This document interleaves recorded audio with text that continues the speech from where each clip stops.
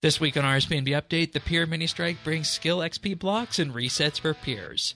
We dive into what pures are used for and their origins. Then we tee up the most recent developments on Jagex accounts and share our thoughts on the 2023 Golden Gnomes.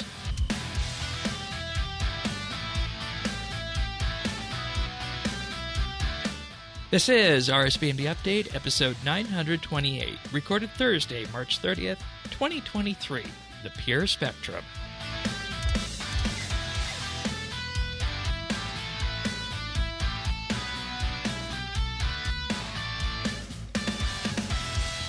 Hello, everybody, and thank you for joining us for another episode of RSBANDB Update. This week, Tanis, you're here as you are each and every week.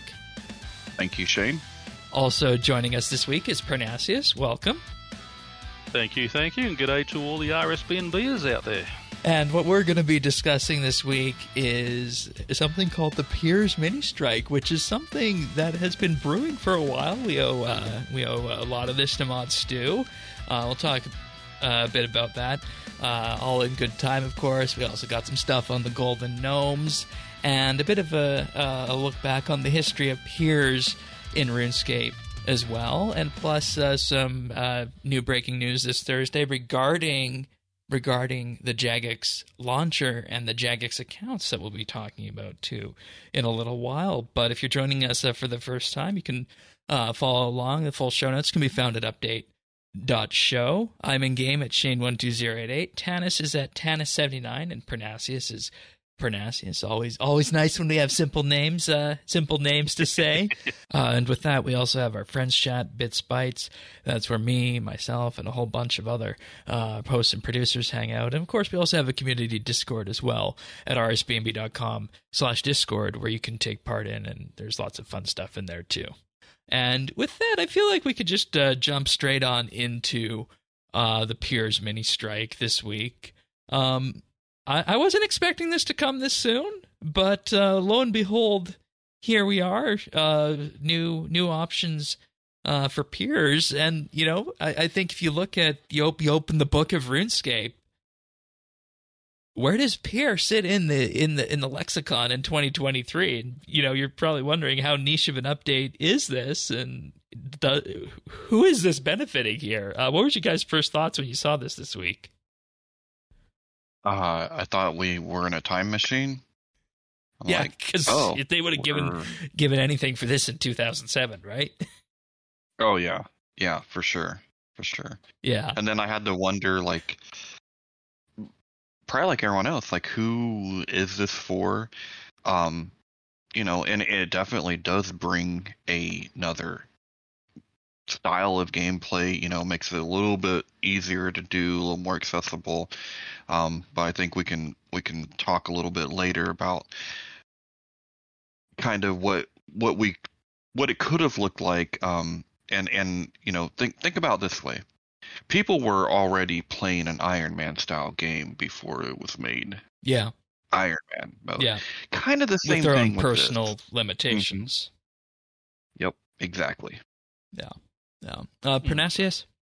Yeah, I mean, it's it's not my style of play, but I mean, I know, you know, there are a lot of pures out there and a lot who were upset uh, when things changed, and but you know, people sort of adjusted and, and made their own accounts, and by having these things where you can reset and such, and I'll take an example of one of our uh, clan members who you know, he was playing a, a, pure account. He was only doing all skilling. He he wanted no combat, and uh, you know, had, had planted, I think it was a sunchoke seed, plucked that, got strength, and got a strength level out of it, and, you know, ruined his pure. Uh, and, you know, little things like that. And I think, you know, th- this update will will help a lot of those. And also for people at end of game who are looking at something to do, uh, as as Tanner said, it gives them another style. You know, if they make a new account, make a pure account uh, on top of their their regular account, hey, Exactly. You know, yeah. if they got a couple of skill and, pures running, and I mean, it's it, a question. It's not of, a bad thing. Like, if you want to play the game without Prif, the skill pure is the is the way to do that because one of the quests in the Prif line requires twenty five ranged, I believe. So there's no way you're getting into Prif on a skill pure, even if you could hmm. dart all the bosses and whatnot. Um, so we're going to go through some of the uh, accommodations made for skill pures. Um, this week. So if you go to Nastroth in the Lumbridge Courtyard, a number of uh, dialogue changes have been made. First and foremost, the biggest one is XP blocking, where you will be able to block XP by saying, I want to block XP from specific skills. And with this, you will prevent yourself from ever getting XP in skills of your choice. But the caveat on this is that as a result of a request from the hit points prayers or constitution prayers in this day and age, um, constitution XP will still be granted from defeating enemies in combat. So, say you go out there with a bronze sword, you have all your combat XP blocked, and you kill a man or a woman at level three. You will still get that that Constitution XP, and that's just something that skill pures are going to need to be aware of uh, going forward on this. But what it does block is if there's any quests out there that give Constitution XP that haven't been lamped, that will be blocked from here as well. So I, I think that's pretty neat that you can uh, do that now. And I, I actually logged into my skill pure this week, which has been kind of dormant since before fresh start, and I and I and I activated the toggle on all of these, and it it actually kind of got me thinking. You know, maybe it's time to dust off uh, this character at least after the after the act track is done, right? Because at, mm-hmm. at that point, maybe you know I can you know one one twenty farming Pura. Yeah, it's. I mean, it's already got ninety nine in a pet, so why not, right?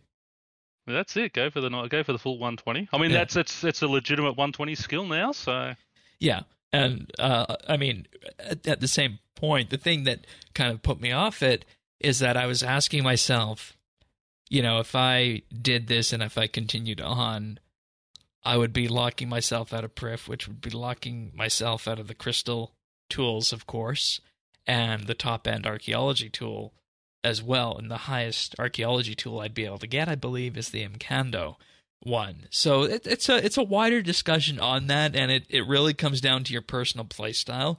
But as with as with most things in RS, you can you can imprint your own um, physical limitation on it, and then it adds a, it adds another level of challenge uh, to it, and and that's where we uh, we're going to talk about a little bit after about where where the pures come in in in 2023.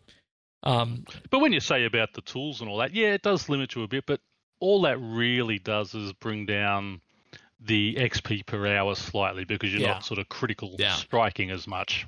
Yeah, and, and, and I mean, rumor has it an augmented dragon hatchet is really not that far off of a augmented crystal and then there's ways it's to compensate not. in the other skills. Isn't well. there an elder rune? Oh no, the elder rune. There's the elder rune um, pickaxe, but it's not aug- augmentable. Yeah. yeah, they're not augmentable. That's true. Yeah. Ones. So yeah. Um, but it's an entirely different gameplay too, because remember you're playing with just lodestones. So you take lodestones out of the game, you would be playing old old school where you wouldn't even be able to get around. So With that's another graphics. like that's another limitation you could put on yourself. I'm not going to unlock any lodestones, right? if you wanted to, I guess you could do that. But um, continuing on, there's also an option to to provide proof that you've never used an XP block or reset on your account. Um, and with this, this will toggle a tooltip on the combat level icon when you're inspected by a player, indicating whether or not XP has been blocked on your account or you've used a minor reset. Uh, I, I, think that's a nice vanity feature to have. That is, and yeah, I think that yeah, again you said be... that. You said it, Shane. Vanity. Uh, yeah, pure pure vanity. You know, you know what I'm excited about though is now we can have pure alts, right? Yeah. Like, you know, all those all those alts you have hanging around. Yeah. turn them into pures now. Yeah, I, right? mean, I mean, they were just skilling anyway. I I I I actually don't have any of those. I believe that's you because I mean my fresh start oh. one has combat levels, and I just have okay. the skill pure. Otherwise, I only have those extra two accounts. Believe it or not. Okay. So, yeah. Right, well, fair enough. What do you have alts that don't have combat levels? I think I do have a. Um, yes, I, I believe I do. Okay. Well, there you go. Easter I, weekend were never, I never set out to make pures with yeah. them or whatever. I just needed resources. I just needed mules. I, I I did all my alts when they when they brought out the golden party hat, so I think I think they've all got XP and everything. Chasing all those uh all those shards for party hats. Yeah, and and I mean when you, when you look at it at the end of the day, it's it's it's an interesting situation because this is only affecting um a certain segment of the population, and with that, Jagex has to be commended for doing such an update. Well, we'll get to that as we get to the end of these uh, patch notes here. They also added something called the minor reset to accommodate pures who have ruined an account by over leveling. And with this, Nastroth can now reset your XP in a, any skill of your choice to its minimum, providing that skill does not exceed level 10 or level 15 if Constitution. And yeah, will... I mean that is like a just a whoopsie. This is not going to let you mm. fundamentally yeah. change, right? Because because previously they had major resets designed to reset defense pures and Constitution and Prayer pures back from when EOC released. So mm-hmm. with this, the Nastroth resets are now available on a six month cooldown instead of once per account.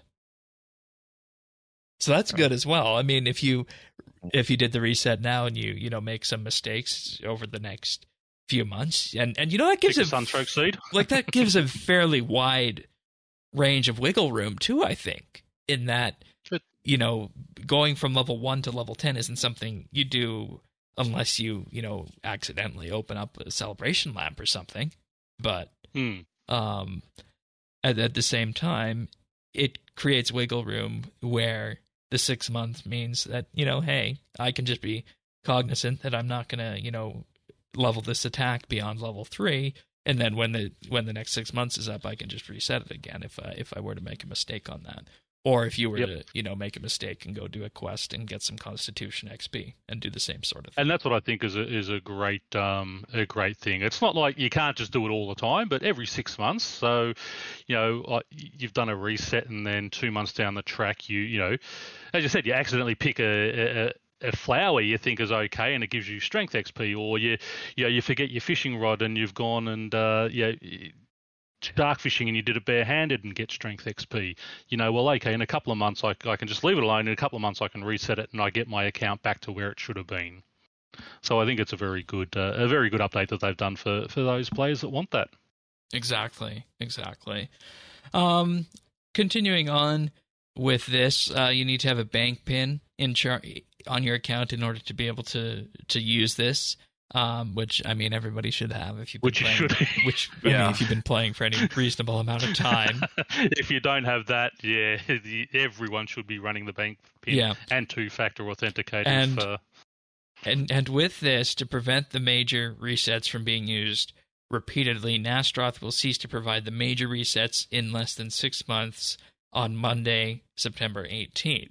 So this is just in effect cleaning things up because after September 18th, the major resets will go away, and then you'll just use the minor resets on whichever levels that you want to use them because it accomplishes the same thing. So, um, that's just a cleaning up a bit of legacy uh, work there on that angle. And it's interesting uh, in the patch notes here because it says the limit of one major reset per account is lifted but Nastroth's two major resets were intended for two very different types of pures, so they cannot be combined. If you intend to make use of one of Nastroth's major resets before they are removed, which when you underscore that means that they're being completely removed, those resets, you need to be sure that you activate the major reset before activating the minor reset, since the resets will share a six month cooldown, and major resets will be removed in less than six months if Nastroth is waiting six months after a minor reset, you won't be able to use that major reset before they're removed. And I mean, it, it, feels like at this point we're reading we're reading the legalese for a contract here, so I'm just going to leave that leave that note there. And uh, folks who need to know that or need to use that uh, fully understand what's going on with that.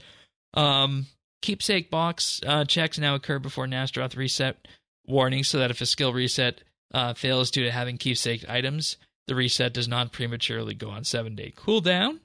And this is actually a really important thing, skill pure related. This last patch note here, and this is probably one of the things that makes this entire entire Ninja Strike feel um, all the all the more wholesome, is that they removed the level fifty nine magic requirement on the family crest quest. And you might be wondering, what, what does that have to do with anything here? Well, the family crest quest is the quest that gives you those gauntlets, like the goldsmithing gauntlets, the cooking gauntlets, and so on and so forth. And one of the requirements of that quest is you needed to use, I believe it's the um, the bolt magic spells on Chronozon, who's level 84. And as such, they said, hey, because of this, you need 59 magic because that's when you can activate um, these spells. But the interesting part in the way the game has evolved since this quest came out is that you can actually kill Chronozon and progress the quest and complete the quest by using a Death Touch dart. So as a result, a skill pure can go in to Family Crest and use a dart on Chronozon and not even need that 59 magic requirement now. And that's why it was removed.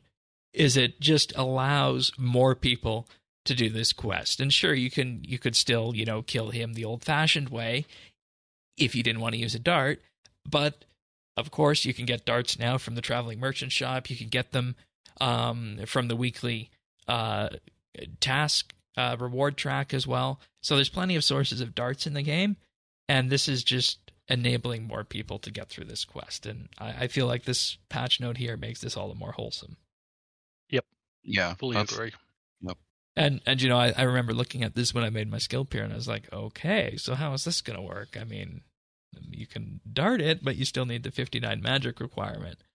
So I think if I ever if I ever fully pick up um, the skill pure here again, this will be this will definitely be one of the quests that that I can do because we all know how important how important those Oh, yeah. smithing gauntlets are now, right? Oh, Yeah. yeah. And and even the cooking gauntlets are, are Mhm. important to you know bring down those uh, non-burn rates and things. So I don't know what the I mean I think there's only two gauntlets. No, there's three. uses. I, I was trying to remember three, what I I was trying to remember what the the third third one one. was. The, the chaos No one uses gauntlets. um, 10% damage boost to bolt spells. That's Yeah, that's a that's the one no one uses. There's only two gauntlets people use. So Mhm. yeah. Um, but I love this update this week. And granted, it's only a set of patch notes, but I think the, the credit needs to go out to the production team at Jagex for packaging these in so much a, a way that they actually feel like an update. Hmm. So, because and I think again, it's it's it's not a you know it, it's not a, a play style that I would probably use, and you know I say probably because you know in, in a year's time, you know, once I've got my trim comp and everything, I might say, well, hey, I'm just going to do something like this. But it gives another game style. It gives you know it gives that diversity of play to people, and you know and. Hey, if it brings in new accounts, if you know someone is, is maxed out and they just want to do this and they start another account, yeah, it's more money for development to do things like this. So, yeah, it, it can only be a good thing. Yeah, and I mean, my my skill pure started as my second golden party hat account. That's when I made it. Yeah. So, That's when Um, that's when all my and- uh, my one started. and then you can kind of just from there meander off on which direction uh, you want to go. But in general, I think we need to see more of this. I think we need to see more of these mini strikes focusing in around a certain area and packaging them as such as as an update because this kind of goes back to the olden olden days thinking about it where Andrew would just write a news post saying hey hey hey we changed you know these this handful of things. Here's your RuneScape update for the week. And I think Is if you could have the massive big ninja strikes and patch notes weeks and then you could have these other little ones to sprinkle in it can kind of I think um fill a gap of when it feels like we have no updates and that's my hope going forward with these sorts of things and is is is this time to revisit uh, the prestige system on our on our other skills again? no Yeah, I, I, I, I, I'm still on. I want to do I want to do Slayer and archaeology again properly. Yeah. Get XP and watch it build up. yeah and, and i mean maybe that's a maybe that's a topic for a monthly bit or another one of our half monthly uh specials on that because i feel like that's another rabbit hole just like the comp stuff was uh Yes. when that came out so but i mean hey i mean if they if they do it for comp next month we had it for skill pures this month. So uh, I, I I want to say 10 out of 10 on this update. I don't think there's anything wrong with it, and I think it was uh, perfect uh, perfect packaging. So, all right, Yeah, fully agree. all right. Um, retro abyssal whip, anyone? Yes, please. Yeah, hundred percent. Yeah. I, I, I feel like. I, I feel like this is the weapon that we, you know, really got sucked into RuneScape with because it was the first time that they um, presented a, a, a power fantasy that everybody wanted. Because before the whip, you know, everybody was running with, you know, the dragon longsword or the dragon dagger. But when the whip came out and we learned what the abyssal demons at level 85 Slayer drop, which was a slog to get to back in the day, the power that that presented compared to the barrows and stuff that we had at the time oh boy oh boy. It was such a special feeling at the time and it this really does make me want to you know go and build a full set of uh pvm capable uh melee gear right now with the tier 92 and then just override it to this one Whips are just cool. Like they're not in a lot of games. And no. It you know they're just they're a different kind of weapon, and it's I don't know. It's just kind of neat. Yeah, and and I mean they got the they got the transparent one, and then they got um I don't know what what we call the one on the left. I know it's not the sausage roll one because there was um sausages on that one. Oh, they're they're calling it the remastered abyssal whip. So, um, 200 yeah, I mean, coins. Right. 200 rune coins or 180 for members. And once again, you know, for some other games out there, you're looking at, you know, 20 bucks for uh, a cosmetic override like this. And, you know, you can get this with practically one bond, which is what, five bucks? if you wanted to. So uh, bond's like eight bucks. But oh, oh yeah, oh, went up in price. Okay. Yeah, they went up a bit. Yeah, but again, I mean, yeah, the, the whip was that that iconic weapon. Like when I first started the game, that was the that was the weapon you went for. You know, that was the great Yep. Slayer weapon that you Yep. you chased, and it's just got that that nostalgic feel of wow, that was that. f- That was my first goal in RuneScape was was getting up to be able to get that whip and you know have the strength and everything to use it. So I love it, and uh, I just wish we could uh, get a, a level 92 whip out there that I could override it with.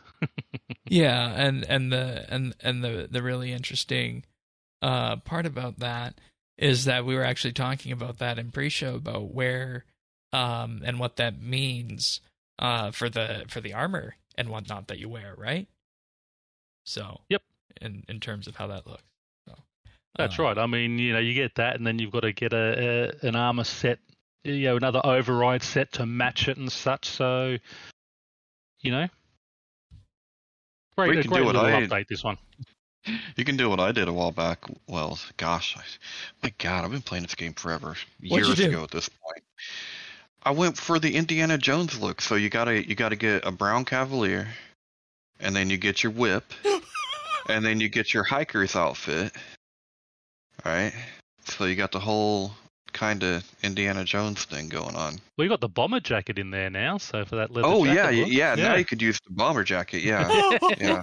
Wasn't there before. Oh my you go. And then you god. go Orlando- down and do Bloom's borrows and Isn't Orlando Bloom's had a better looking, a better, a closer one to? Um... It's too expensive. though. Probably, but I couldn't afford but I mean- that. so. I know.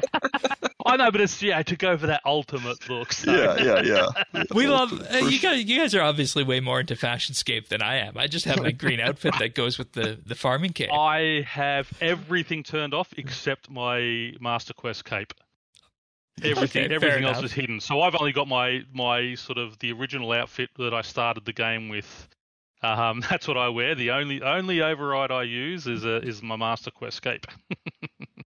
Nice. All right. So with that, let's move on to the rest of our uh, patch notes this week. Uh, a number of graphical changes made yet again. The first one touching on accessibility for dungeoneering Tanis. Uh, fixed an Yay. issue where the lights in the crystal light puzzle in Daemonheim were not displaying correctly. That's always been a difficult puzzle too. Yeah. When you can't see very well. I. I, I saw a picture of it at somewhere earlier this week. I couldn't find it in time for the show, but it is a really big improvement in that room. I have to say. That's great. Yeah. Mm. Um, they Yeah, also I don't have problem, and it's uh, it was always hard for me to Yeah. hang on which one is that. Yeah, so that's yeah. well, I think that's a wider. Anything that anything has to do with accessibility is a I think that's a update. wider dungeoneering problem, if I'm being honest. Yeah, So- it's very true. It's Um, so old now. Uh, fixed an issue with environment visibility at the Soul Altar. All right. Uh, adjusted lighting across the TzHaar City, which uh, carries on from the from the updates that we talked about last week. Just generally improving the way things look in the game. And I did not hike to go and see this one. Overhauled the lighting and updated the terrain textures in the underground pass. Jeez, does anyone go there other than for the quest? I don't know. I don't know. I mean, with all with with with all the uh, teleports you have now, you don't need to run through there anymore. No, you don't. You don't. Actually, sorry, I know I know one person this will help, and that'll be uh, Earth. Oh, okay. No, he He doesn't he doesn't he doesn't use the uh, the lodestones. No, does he doesn't. But he uses the crystal teleport, and that's how he gets. uh, Ah, fair gets enough. Past that. So, I mean, uh, next time he needs to go go to Lletya, I'll tell him that he has to teleport to Ardougne and then run through the pass. But um, we also got some typos fixed in quests, including extinction and murder on the border. Um, corrected the typo um, uh, potion with two eyes to be potion, and uh, rude to be roof um, in quest dialogue for murder on the border. and then finally, uh, this is this is actually good. Um, the required items to construct the buildings during new foundations and murder on the border are now listed in their quest overviews, so it'll show how many planks and whatnot that you need for that. So that's good. Uh, general patch notes inventory icons for achievement capes have been updated to be more easily distinguishable from one another. Um, and tooltips have been uh, adjusted for the Super Zamorak Brew, the Spiritual Prayer Potion, the Summoning Potion, and Recipe Shop Potions. Then we got an interesting one where the description when destroying the Mask of the White Worm uh, has been corrected to show the right price. Previously, dis- the description claimed that the price was 50,000 GP when the correct price was actually 35,000 GP on that. And there's your patch notes for the week, everyone. Um, nice, uh, nice round selection, including including all the stuff about pures. All right. Uh, before we move on, I want to thank some Patreon supporters for this week because, as as they know, and as the listeners probably know, we do so much around here because of the Patreon supporters, and we take great pride in the fact that so much of what we do here is community driven. So this week, I'd like to thank Alfie S, Amos Reed, Andrew C, Arvids L, Beekeeper Steve, Big Huge Rat, Chunk the Monk, Cycle RS, Drama Free, Duramax, Enrique V, Free Milk, Jacob G, Jade Gizmo, Jason S, Jeebus, Jesse W, Keski, Ling01, Mohan V, Nate the Great, Parnassius, Ricky A, RS Nerdherd, Samuel FL, Scott DS, Shirt Pants, Stub Eve, Tabby, The Naked Captain, The Dabbing Goat, Tim, Tom V, Zant, and Zazakon. Thanks so much, everybody. And as we mentioned, that means the world to us. Um, these guys have access to an entire back catalog of soon to be 58 monthly bits out there talking about a variety of subjects. Uh, the one that was most recently passed was the part two of the skill uh, tier list. And you might remember uh, September last year, we built a tier list uh, ranking the RuneScape skills from A to D. And then with that, this time we're going to go through them, parse through that list, and say what are the good characteristics of of the skills and what are the bad characteristics, and how exactly and what exactly, how and what exactly do our tier list show on that. So that's what the patrons voted for. If that sounds interesting to you, if you want to hear that when it arrives late next week, you can sign up for as little as a dollar a month at patreon.com slash rsbandb. And with that, you'll also uh, gain access to all the other monthly bits, and you'll be helping uh, to fund the costs for hosting and production of the podcast. We also do have the VIP tier for $3 a month, where you'll get a special rank on Discord, including a chat channel, mention on the podcast at the start of the month, and access to high quality stereo versions of the show. And If you want to give the ultimate gift, we have our insider tier for $5 a month where you'll receive a shout out on the podcast each and every week in addition to everything else. And you also gain access to the clips that we use to make the clip show. And of course, a big, huge thank you goes out to all of our Patreon supporters. Right now, they're involved in uh, taking our uh, annual Patreon survey. Uh, if you are a Patreon member and you haven't yet taken the survey, please uh, go and do that. You can find the post uh, pinned on the Patreon website, or even if you're a new Patreon member, you feel like signing up right now, you want to have your impact on Patreon offerings, sign up. Any of our Patreon tiers uh, can take that, and uh, definitely getting some interesting results from that so far about uh, what you guys uh, like and uh, where we're gonna uh, take this thing in the next year or so. So, of course, a big thank you again to everybody out there. Patreon.com slash RSBANDB. Thanks so much, everyone. All right, all right. I feel like I feel like this one uh, needs to be shouted out and about from from above the rafters right now. Um, we got an update on the Jagex accounts and the closed beta as of today, March 30th, recording day. Um, the approximate percentage of eligible accounts now to convert over to this is 50% of RuneScape accounts. 50% Nice. of players are now going to be able to use this. And just a quick recap of how this is going to work. They expect to move into open beta in early April. And that means that you'll be able to opt in and start using this.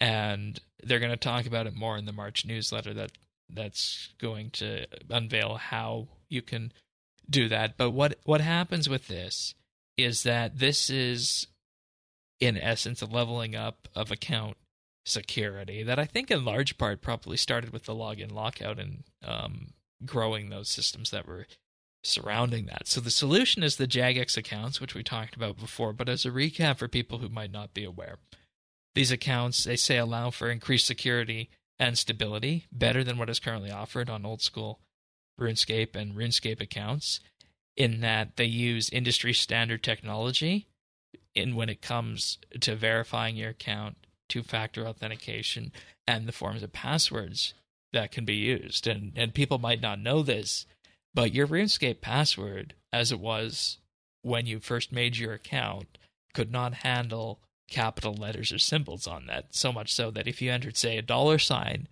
in your account, the the client when you were entering that would just treat it as the number four. So you would think you were entering a dollar sign, but in reality you were just entering uh, letters and numbers. So this is a huge step up in that. And it also makes it so that if you have multiple accounts like we do, you'll only be entering in one email address to log in. And then you'll go to the Jagex launcher, choose which one you want to use, and open it up as you have been doing if you do already uh, use the Jagex launcher.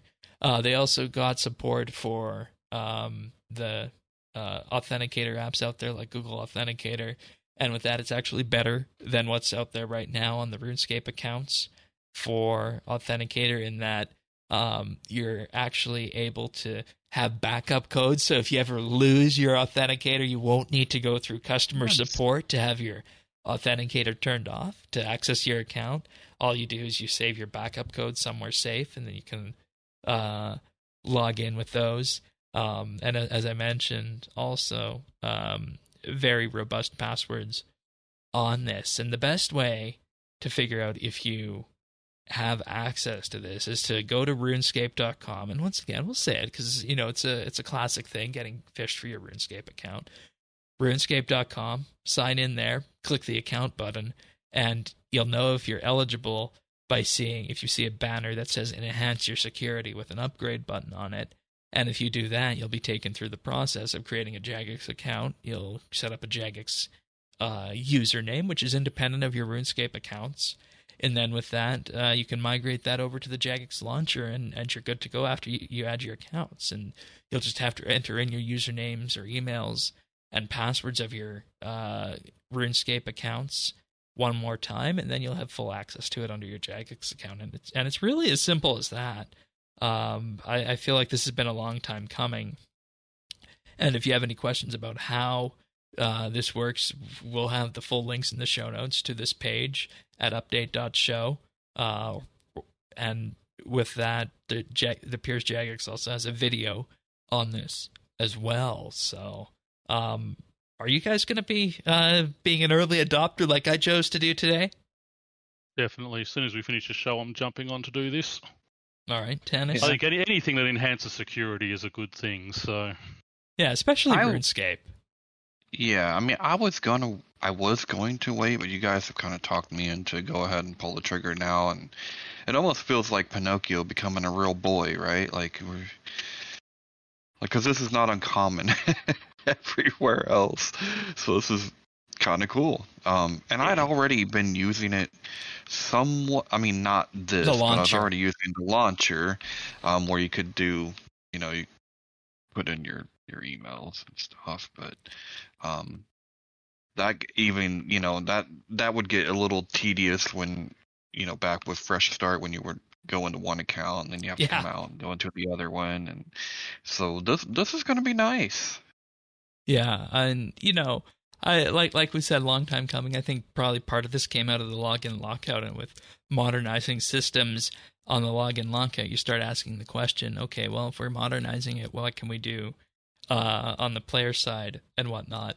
And I think when this officially launches or goes into open beta, they'll definitely have to do some sort of live stream uh, where they got the tech team on from that because I, I know you and I really enjoyed watching that live stream where where these folks talked about uh, that sort of stuff. I, I forget how you described the one J mod on that episode. oh i forget too but yeah he was he was something yeah, but uh, just in before uh, you know. Shane and I, who were just going to adopt it, and Tanis, who wanted to wait just to make sure it was secure. I just want to get in before Tanis gets locked out that it was his own decision. We didn't twist his arm into it. right yeah no and just to it give you was shane's power of persuasion yeah, just to give you guys an idea on how this has progressed, on the 14th of March, they said it was 1% of the accounts. A week later, on the 20th, they brought it up to 5 Three days later, to 15%. Four days after that, to 25%. And another three days after that, up to 50%. So, what that tells me from looking at this is they have internal metrics in terms of how the accounts are being created and if there's any sort of issues with the systems behind the scenes, if they're getting any sort of bug reports on that in terms of the volume, and if they're not, that's what in effect gives them the green light to open it up to more and more players. Hmm. That's that's my uh, that's my feeling on how this goes. Yeah, it's been running for two weeks, and they've gone, as you said, from basically the one percent up to fifty percent. I think it's, uh, I think it's pretty safe. Yeah, yeah. And I mean, at, at some point, I, I feel like everybody's going to be moved over to this regardless. And it'll be kind of like that uh, process that it took however long. I think it was, what, when did they kill Java? Was that December 2019? I think?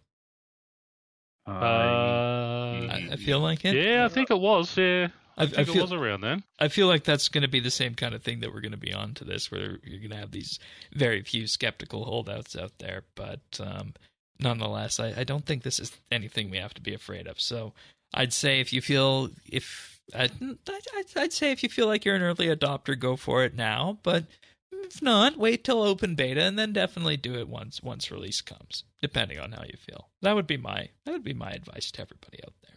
So, all right.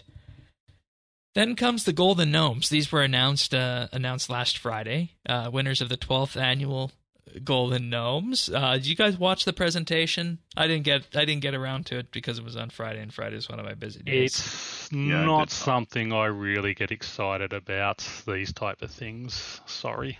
yeah, that's fine. Yeah. That's fine. Well, let's go through uh, who won for RS3 then. Um, best new RuneScape video creator, Waydot. I I haven't heard of this person. Have you guys? Which I guess is No. why they're the, why they're the new creator, so that's good. Uh, best uh, video creator, Pro Talks. No introduction needed. And best Here's Rune- one I have heard of. yeah, best RuneScape video.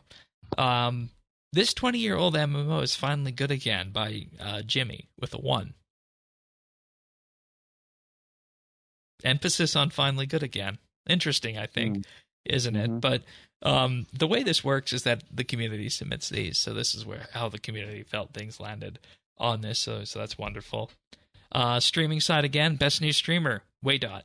Uh, best RuneScape streamer, SickNerd. I, I, feel like we've we've heard of him, and uh, definitely mm-hmm. interesting to see him on this category because I feel like his his streamer isn't isn't cookie cutter the way most of the other ones are. Yeah, a little little variety there. Yeah, I know, I know. Um, I know folks in Clan Quest enjoyed watching him when he was going through all the quests because you don't really ever see you don't really ever see people playing quests on stream now, do you? You don't see people doing anything other, other than, than, three PVM. bosses. Yeah. Yeah. Yeah. Yeah, I don't. I and, I and, will and, admit I don't fair, watch. and, and, to be fair, you can stream other things, and people do, but they just don't generate the amount of traffic that high-end PVM does.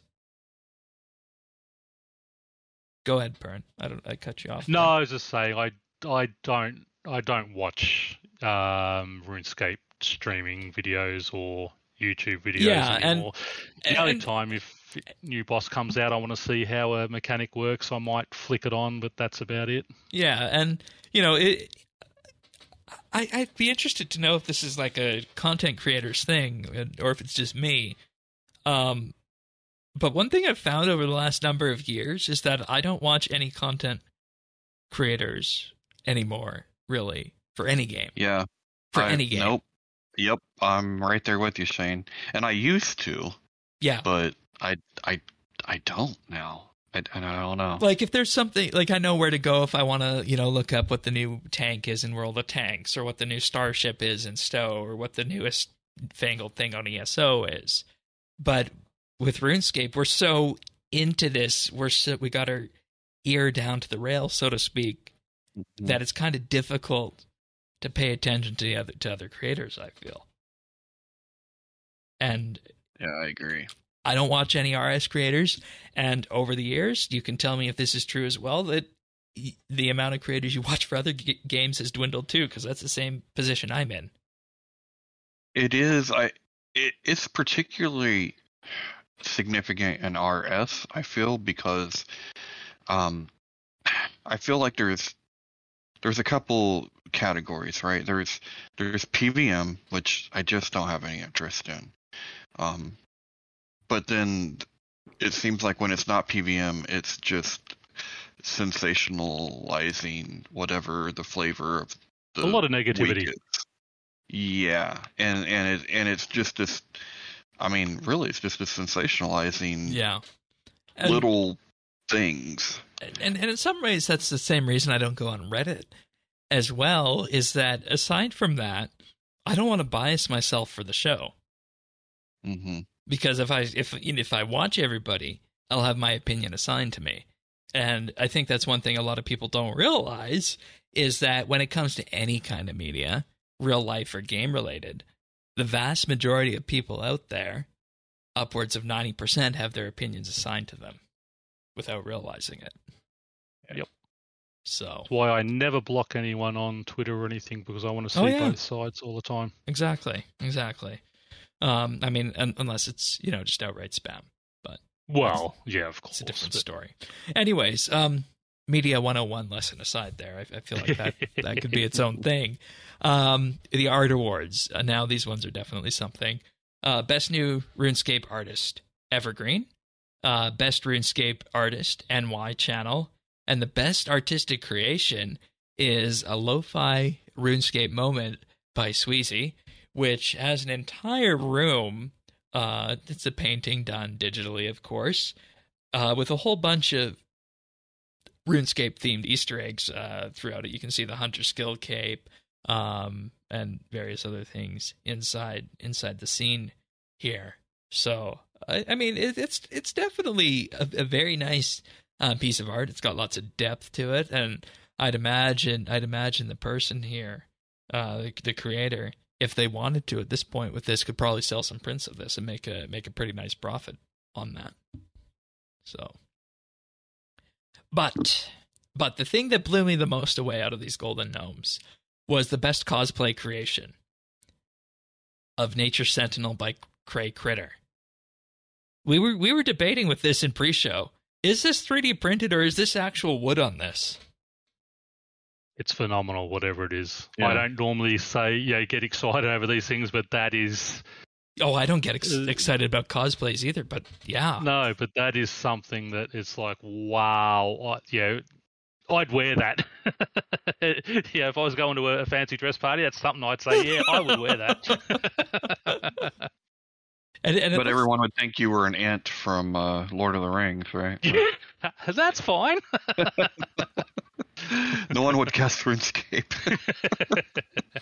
And and I'm wondering yeah, if this is great. if it's real um, wood, leaves, and moss on here. I mean, like zooming into it, it it certainly looks that way.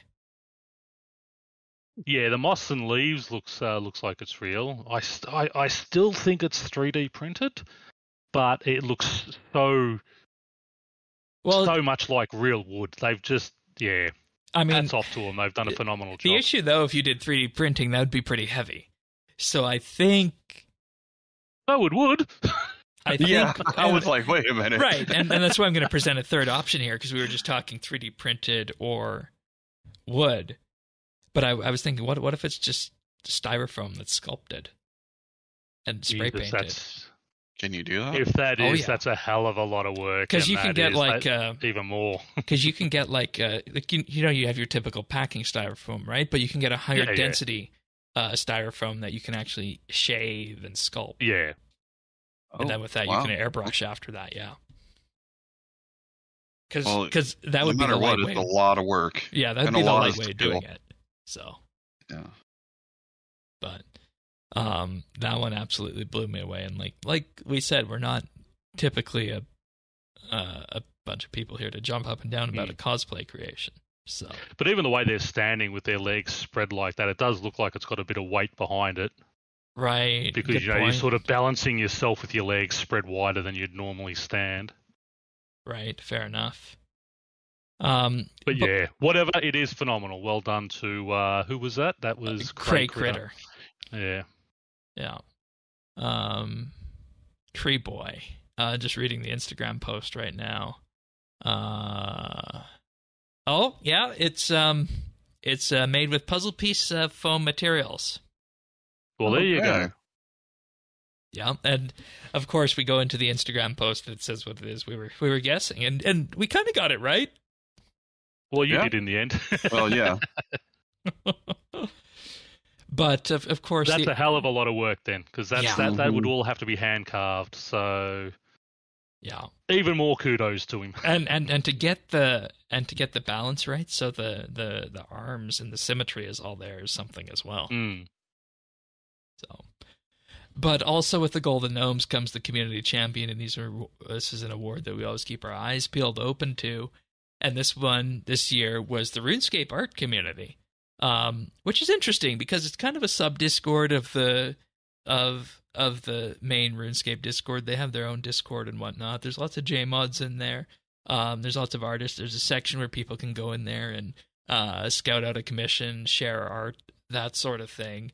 And uh, just reading from this here, they say it's with utmost pleasure we acknowledge the RAC, the RuneScape art community, as an absolute powerhouse in the RuneScape community. From being on the forefront of engaging the swaths of artists, writers, and musicians around the scene in monthly prompts. And they say uh, this month's uh, stained glass is amazing. They also schedule um, collaborations such as the art fight, and they say they have been a constant ocean of wonderful pieces made by amazing, talented artists. So, as per usual, I think the they always hit the spot with the RuneScape art community. So, right on on that. And there's your golden gnomes for this year. It's gonna be nice when they can actually finally get back and start doing these things in person again, eh? Yeah. Yes. Yes. So, alrighty. Well, we started off the show talking about pures and the changes that came to pure accounts this week.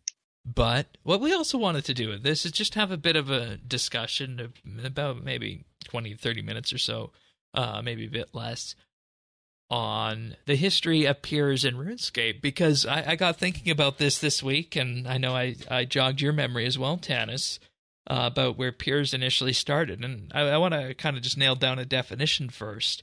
So, a pure is a player who deliberately chooses not to level certain skills to obtain an advantage in combat or for prestige purposes. Do you guys agree with that uh, general definition of what a pure is? Mm-hmm. Yeah. Okay. Okay. And we're going to start with the origin of pures. And and I feel like these things started way back in the day with the primary goal of being centered around PvP in that you would lower your combat level but have higher offensive stats so that you would have an advantage over somebody who was about the same combat level.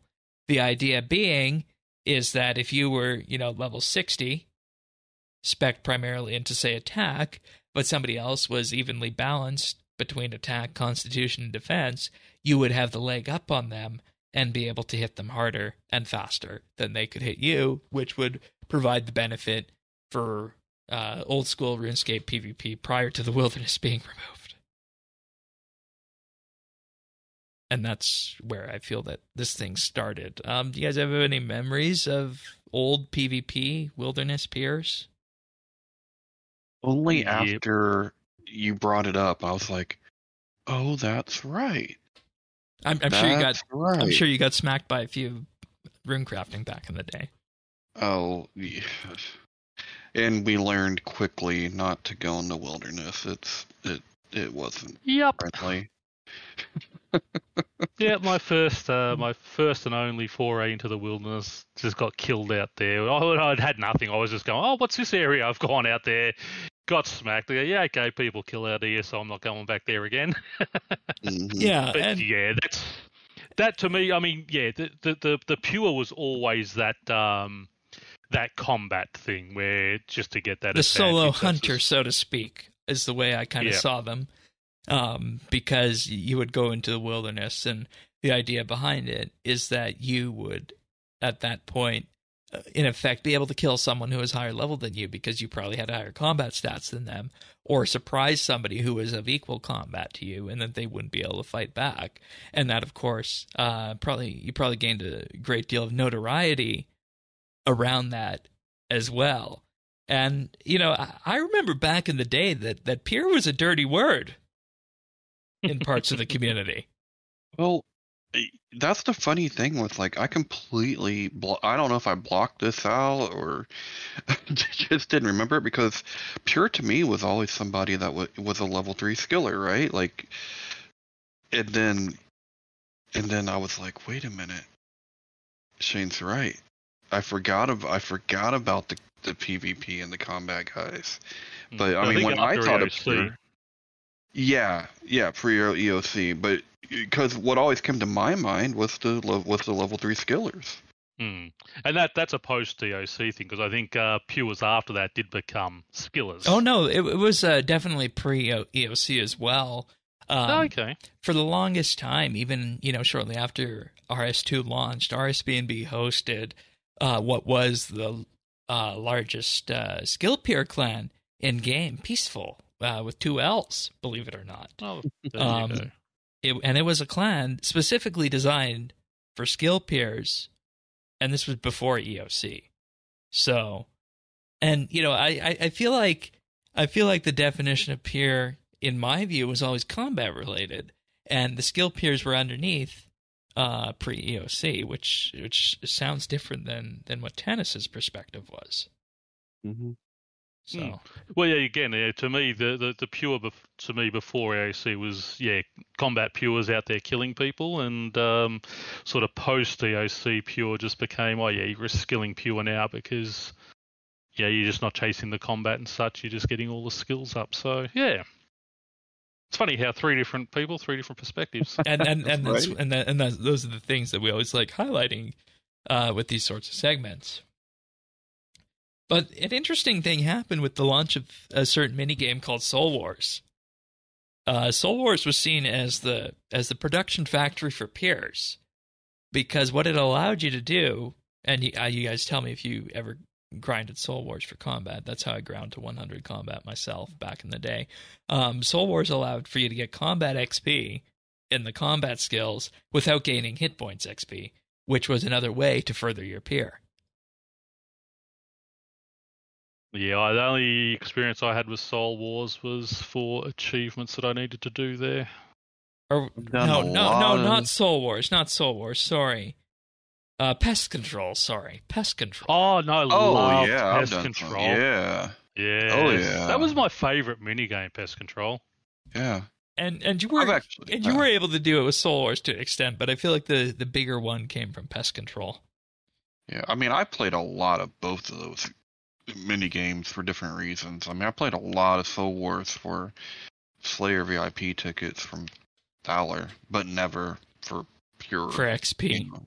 Yeah. yeah, and and And and and, and we know Control I where did a lot. and we know where the best XP is um, post EOC, post ED3 still for combat.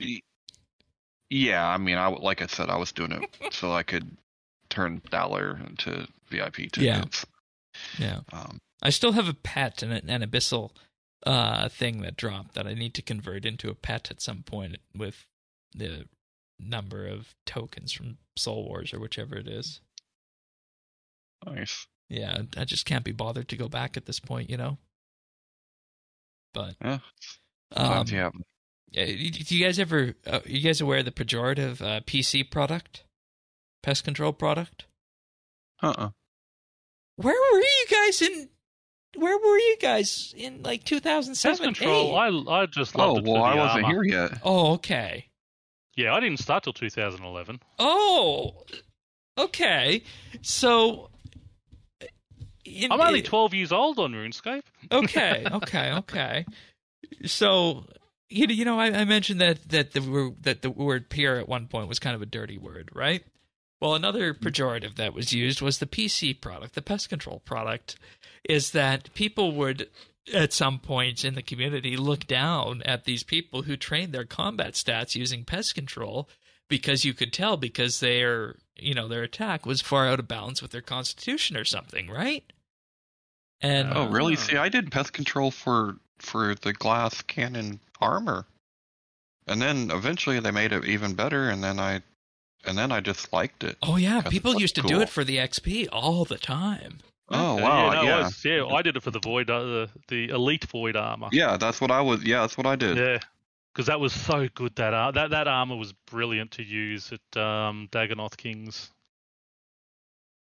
That and and once again, I, I'm I'm just having my mind blown that the fact you know we have three different perspectives here on pest control. But control. that's it. But I mean, you're you're and, looking and they at all a, kind of know, factor into the pure equation, but they're slightly different. You're a 21 course. year old account. I'm a 12 year old account, and I think Tanis is what, probably 14 or 15.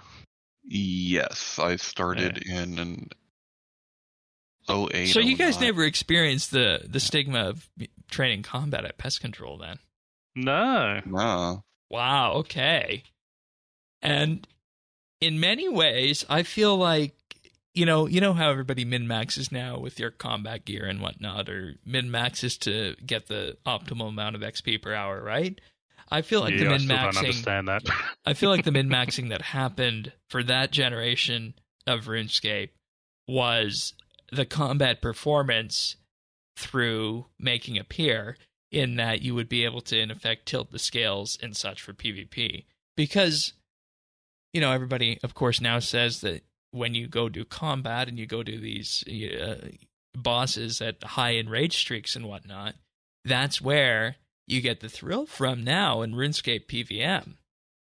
But before EOC, that was PvP, and you needed a pure at times to do that effectively. Okay. Hmm. I mean, I'll take your word for it. Yeah, and and and that's an era of the game that's just entirely gone. And, yeah. and and I, and I think we fully realized that, and m- managed the removal of PvP this past summer with the Wilderness uh, PvP removal and the remaster of the Update of the decade still. Okay, Yeah. I mean, it, I, I didn't. I never sh- shed a tear over it. I mean, just, just saying. Okay. Well, put yourselves in the in these shoes then, and I don't know, maybe you guys don't like PvP that much, and but no, put, put- I um I've spent more time in the wilderness uh since they removed it than I have in my entire 12 years of playing. okay, and I understand why people PvP in RS. There's a there's an adrenaline rush behind it, and there definitely was back in the old days with your pures and whatnot. Yeah, but there's an adrenaline rush for going up and punching a baby in the face and stealing their candy too. But I mean, it doesn't mean it's a good thing. I mean, if you want an Tongue in- tongue adrenaline rush in Tongue in combat. I mean, adrenaline rush in combat, Shane. yeah, Well, there's nothing like the adrenaline rush of putting some money on the line, jumping in the arena, oh, the sad casino.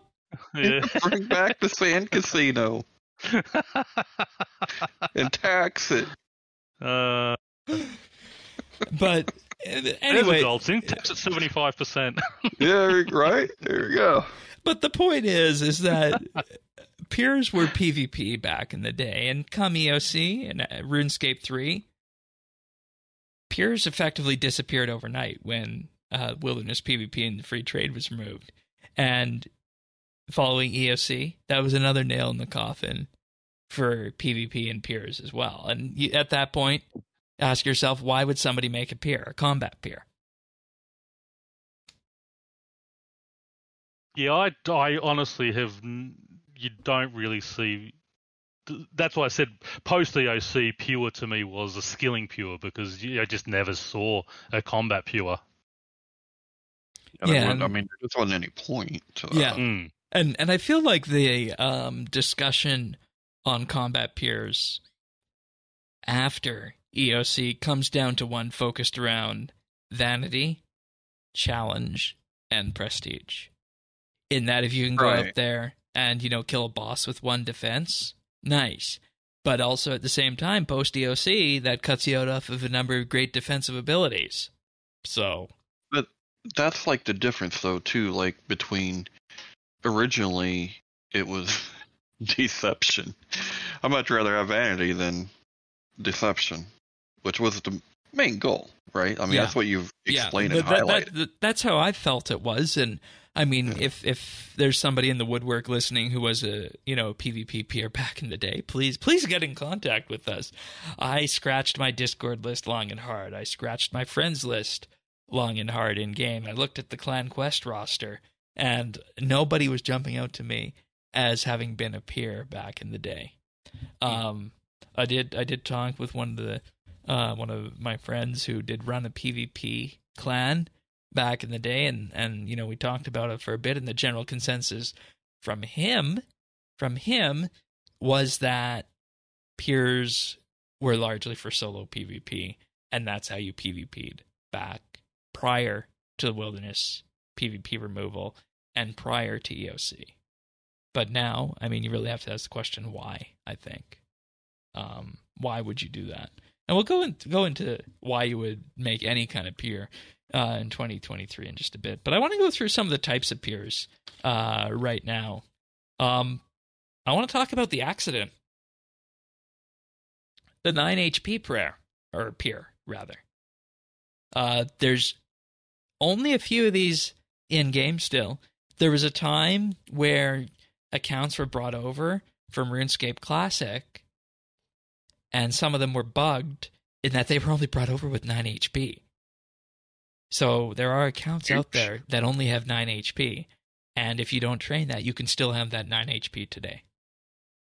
Huh. Wasn't there a, a point where uh, Andrew Gower, like as a punishment, used to set people to like one HP or something like that if he caught him doing something wrong? He just like Maybe that sounds kind of familiar, but I don't have an yeah, I heard I heard a story. I don't know if it's that. true or if it's just you know yeah. urban uh, an urban legend. But I heard where yeah, someone pissed you know, you you piss Andrew Gower off. Go right, so he just just drop your HP to one, and you had to sort of build it back up again.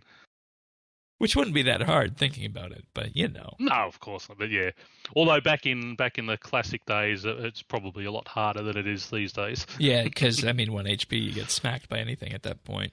Um, but if the 9 HP pures were special cases, they were accidents in most parts. Then we get to the one defense pure, and I feel like this was the most common going back. Um, most of these people took their accounts to level 60 in RS2 for dragon weaponry, but it was also, of course, feasible at times um, to take your pure to level 82 magic and do desert treasure to get ice splits because we all know how obnoxious Mm-hmm. those ice spells were for freezing people. Oh, yes. Um, and once again, you emphasize that one defense, but there's other variations as well that were included, like maybe not leveling up summoning and prayer because that would be seen as the hardest. Some people um, might have only taken prayer to level 15, for example. Some people might say, "Oh, I need protect from Elise," so they might have took it only to 43. So there's different levels of pure. There's a spectrum from, I guess, what you could say, the purest of being one defense and one summoning and one prayer on one end, to the other side where you start to work other things in, like maybe some summoning, maybe some prayer, depending depending on where you land. But You saying pures are on the spectrum, Shane? well, there's the, you, you can put any you can put anything on a spectrum if if if you really want That's, to. that's true. So, um, and you know, I I I think you can have something called the pure spectrum in in RS when it comes down to it, and uh, I, I feel like skill pures are at the furthest end of that spectrum, um, because they keep all their combat stats at one, and that was of course the focus Mhm. of this week's update. Um, but looking at these, do you know, do any of these, like, if you were back in the day, would any of these have an appeal to either of you? I've Mhm. always been an all rounder, so sort of Yeah. that pure type thing never interested me at all. Uh, because I just I, I just like to train everything. Uh, and, and just see sort of a, a tick up and have sort of an all round account. But you know, if they if they had like a competition uh, similar to your Fresh Start Worlds, Oh, Yeah. uh, you know, they brought out like a three or four month competition to do something like that. Uh, again, Okay. you know, you know bonds, you know bonus XPs or whatever, and, and just to to challenge to work out the best way to get to yeah get get a you know a, a, a- just a pure with nothing else, yeah, only farming or only um, you know, only wood cutting, something like that. It uh, it'd be interesting. Uh, and, and that gets what get and that gets to what pures can be in 2023. Obviously, we had the skill pure update this week, but like you said, it, pures can also be done for a challenge or for prestige rather than a combat benefit because you don't really need that in this day and age. So it's easier than ever to do that now with this week's update. And I think, like you said, that's where we go from here. You go to some kind of fresh start, like limited mode, where you could have accounts that are limited in terms of what skills they can train. Now that that clearly exists in game, I know Tanis, you wanted to highlight some of this. Yeah, no, I just I I really um I agree with that and that would be the thing that drew me into it, right? Um I think, you know, your idea of perhaps even pairing that with a uh with an Iron Man uh, or group Iron Man thing would be Yeah. absolutely wonderful. Um and and what that means is one person would only be able to train gathering skills. One person would only be able to train combat skills. One person would be able, only be able to train artisan, and so on and so forth. Yeah, I mean, to me that sounds fun. Um, you know, I think it's one of those things where we they they had this update, they had it ready. Um, it was waiting on some other things that had to be in place first. So it was a matter of, you know, we can release this now and just and get it out the door because it's been sitting here for a minute, or we, you know, wait even longer to try to put it together a bigger package. Now, I'm somebody that doesn't mind waiting for bigger packages, but um, I can see why you know you'd want to get this out the door. And I mean, and I and I guess you can always wrap it up later. You know, going going forward, you could always include this in in a timed event like Fresh Start was. Um, Well, that's but I right. would And be all be over that. this would be a good thing though. I mean, release it like this, see if there's some interest in it, uh, make sure it works okay, and then get it out into you know this year's competition, this year's sort of fresh start worlds. Uh, you'd Yeah. love to see something like that because I'd love to see in RS3 sort of you know what they had in, in, in Fresh Start Worlds, where there was that competitive side. Yes, that leads you know people complain, oh, it leads to you know unhealthy lifestyles and this type of thing. But you know people have got to be responsible for themselves. You can't blame Yes, I mean, someone else. I mean, take responsibility for the way you are. Yeah. Uh, you know, don't punish the majority because there's a couple of people who can't control themselves. Uh, you know, it, yeah. we I need mean, to have more of that type of thing. seriously, you can sit at home do heroin all day long too, but it's probably not going to work out for you. I Exactly. mean, it's just, Well, it's like like here in Australia, I can only go to the casino 24 hours a week. Uh, and sort of two months after they pass that rule, the government opens their own online Keno site 24 7. So I can go and play poker for 24 hours a week, or I can sit at home playing Keno for, you know, 97 hours. oh wow. You know, it's just like, come on. Yeah, there, there's a time for protecting people from themselves, and there's a time people have to stand up and do it. You know, look after their own pe- their own things. Take Yeah. responsibility. You're a freaking adult. yep. I don't know how we got to pures from that, but I, it's, it's an it's an interesting discussion in terms It's of just limited. pure logic, Shane. No, logic. no, it's just, but uh, yeah, I'm saying because people complained about Fresh Start World, you know, it, it, it led to an unhealthy lifestyle where people were playing, you know, sort of 16, 18, 20 hours a day, and you know, and that's not healthy. But I mean, it's also not Jagex's fault that you know people can't control themselves, and you know, we shouldn't be punished because a couple can't control themselves is what you know is basically what my my point was and I'd love to see you know a, a three or four month competition where you know we had uh, this pure type thing and you know work it out around that it'd be fantastic That's it. I'm suing McDonald's. I'm I'm I'm overweight, and I think it's their fault. I just I went there tonight. I can't help it. You know. but but when you look at this at the end of the day, in terms of uh, Jagex updates that they have put out, I don't know how much dev work went into the pure update this week. I don't. But if we were able to spin off an entire three month comp- competitive mode from this, in terms of skill blocking and utilizing the high score infrastructure they had from before, Yeah. that would be interesting. And it's Because a lot obviously, more bang right- for your buck. Right, because Right. obviously, right now the user interface for this is you go talk to Nastroth and you block XP and a skill. But what's to say Jagex just doesn't decide to do that?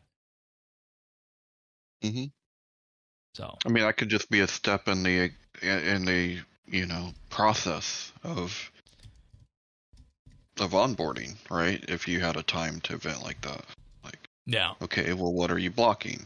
Or you know what I mean? Like, I don't know. It.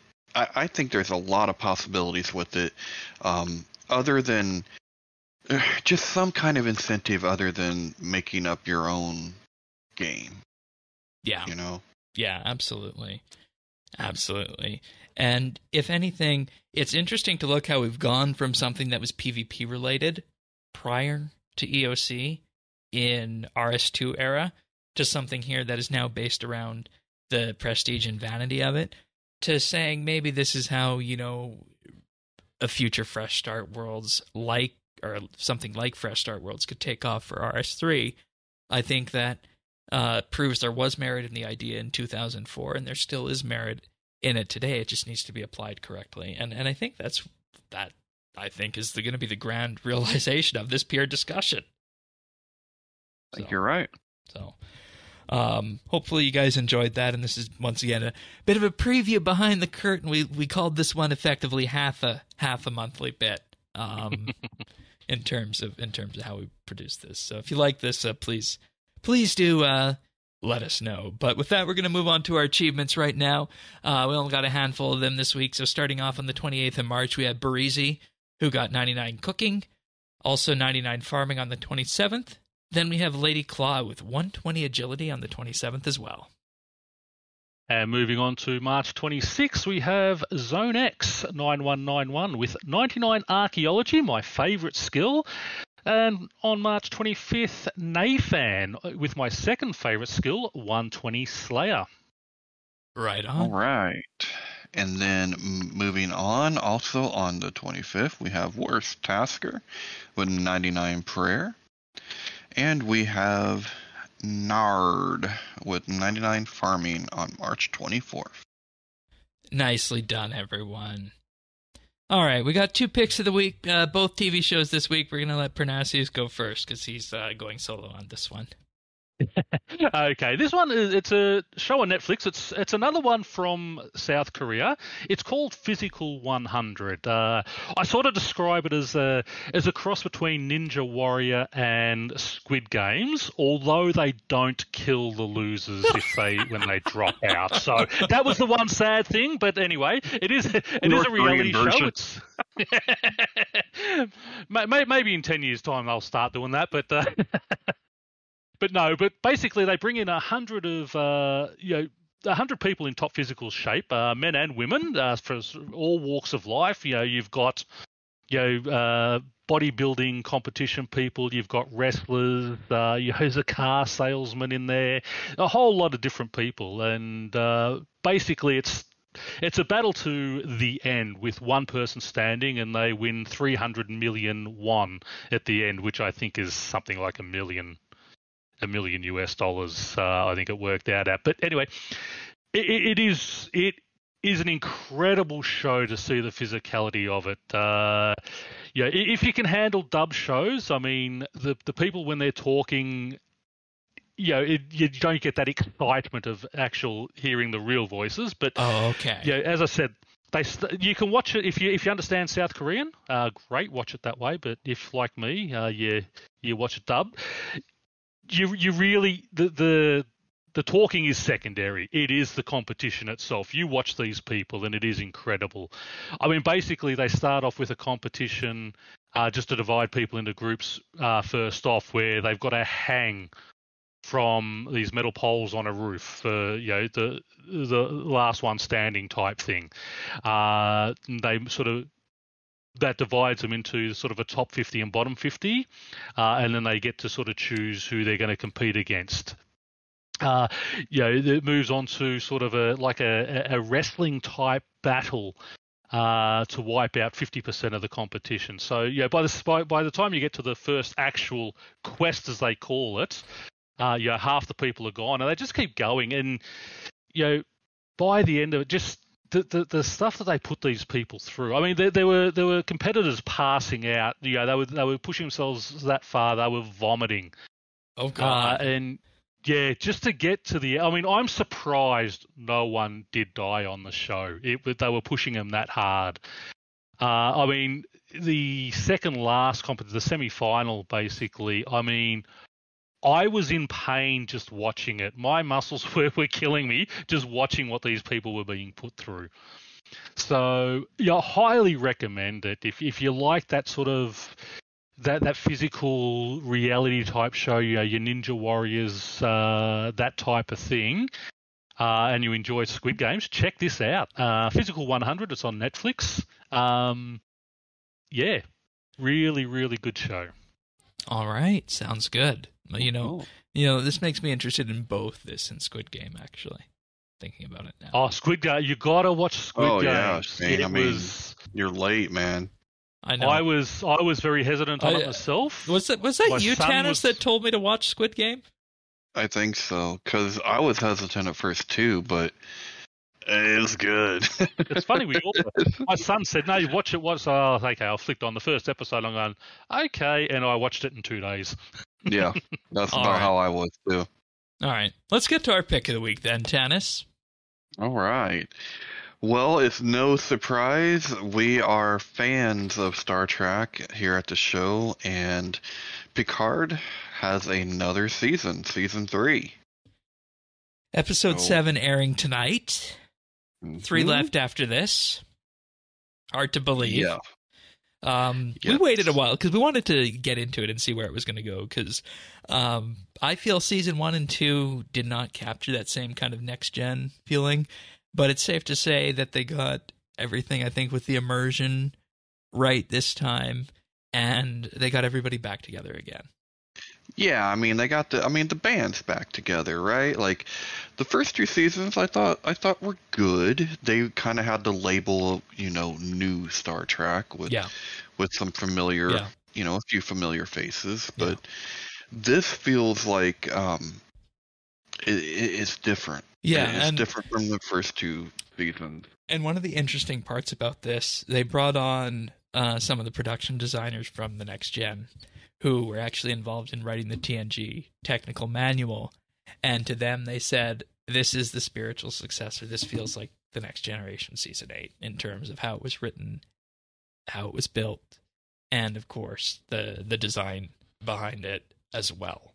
Which I think is what a lot of people have been asking for since 2003 and the and Star Trek Nemesis.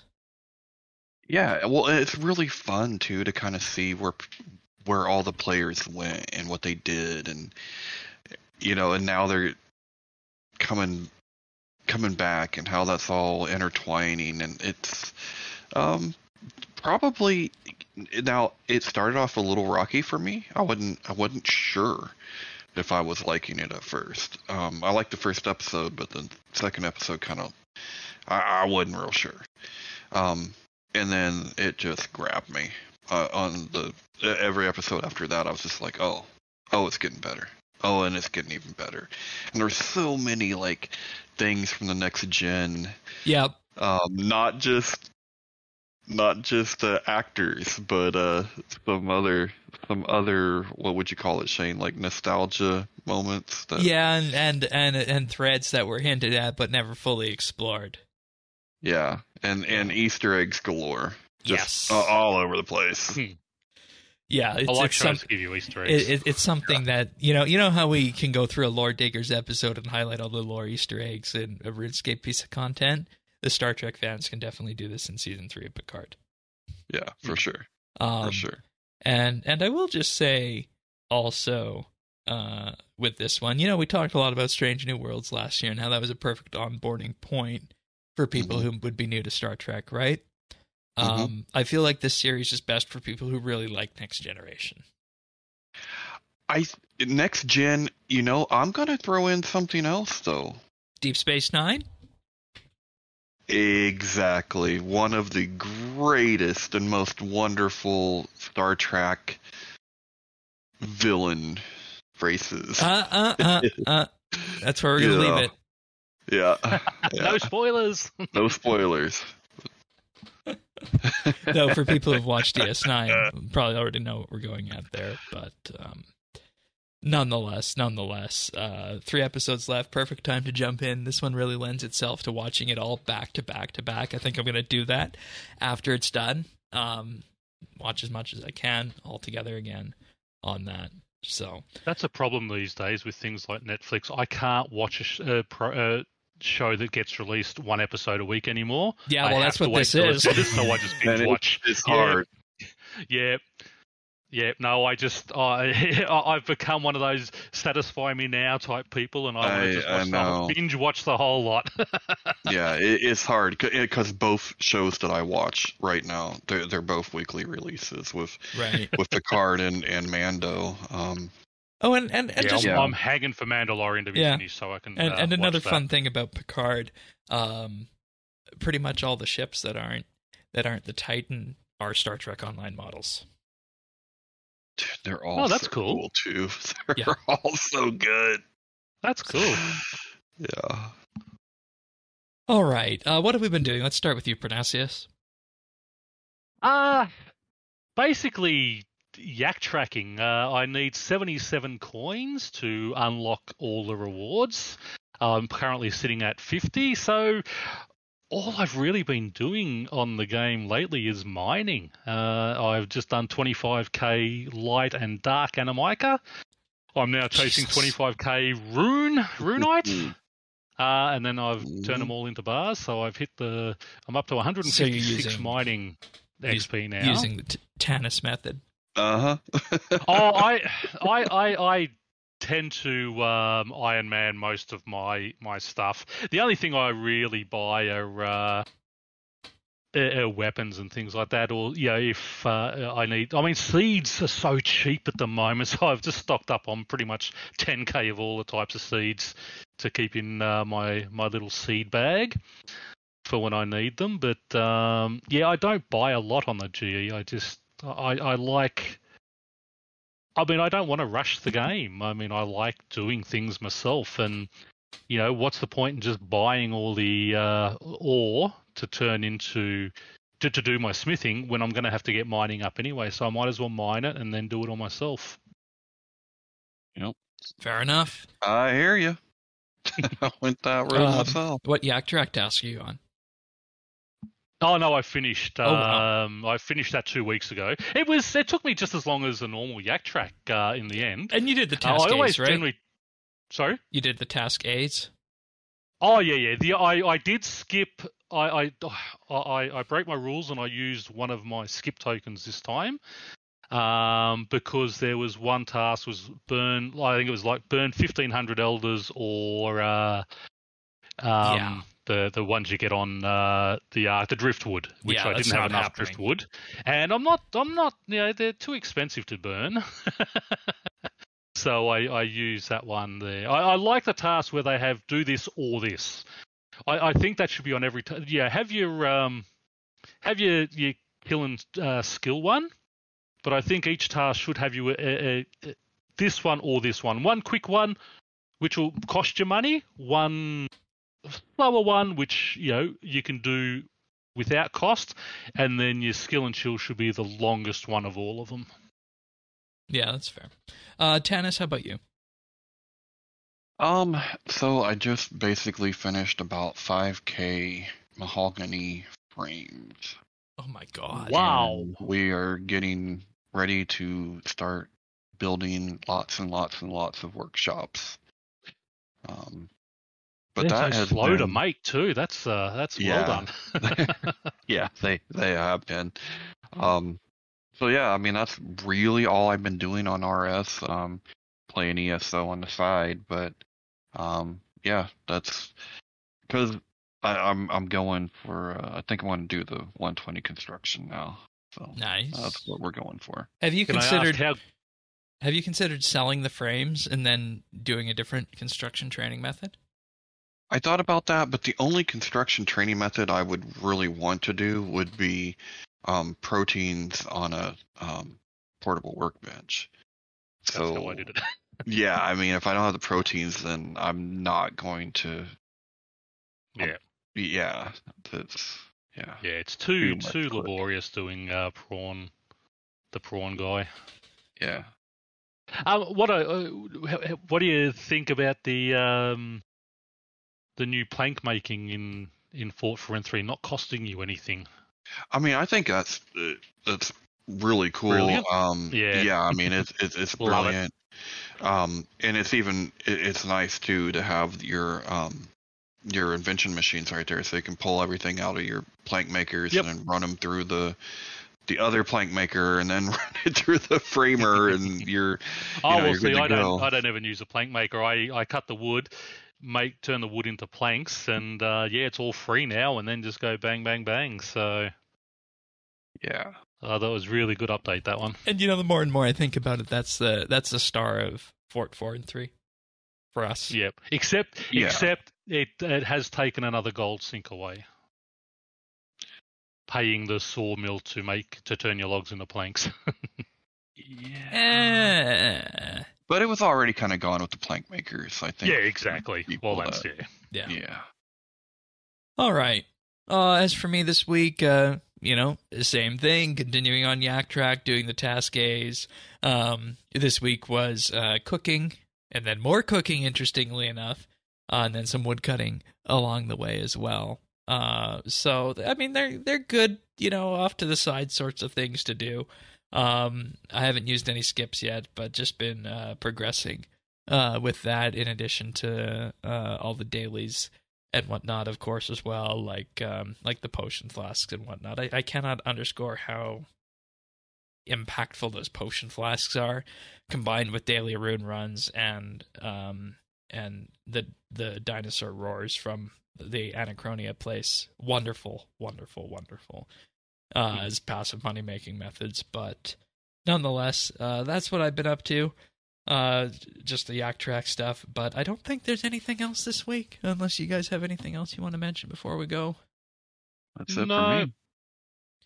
all right well we'll be back next week Um, if you want to listen to us and get the podcast delivered automatically to you, the best way to do that is to subscribe. And we're on all the podcast listeners out there. On Apple Podcasts, Spotify, Google, Pocket Casts, Amazon, Stitcher, and many more. Update.show slash subscribe. We're also on YouTube at youtube.com slash RSBANDB. That's where we post the video versions of the shows and the nibbles as well. And, you know, the usual thing. If you like the show, give it a like and subscribe, helps the channel out, so on and so forth. And that's very much so because, you know, we're primarily an audio show and that's where the bulk of our listeners are. So YouTube is uh, just another uh, place of putting it. But um, that's it for this week. And uh, thanks to the both of you being here. We'll be, and we'll be back next week for another episode of RSBANDB Update. See you then, everyone. Take care. Yeah. Happy Skyping all.